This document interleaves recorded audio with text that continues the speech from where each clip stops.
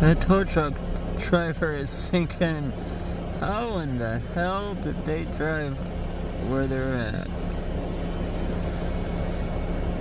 Can't tow it out forward, you know? Well, I guess maybe you can. I mean, I don't think forward's the best way to go. He's got to go sideways.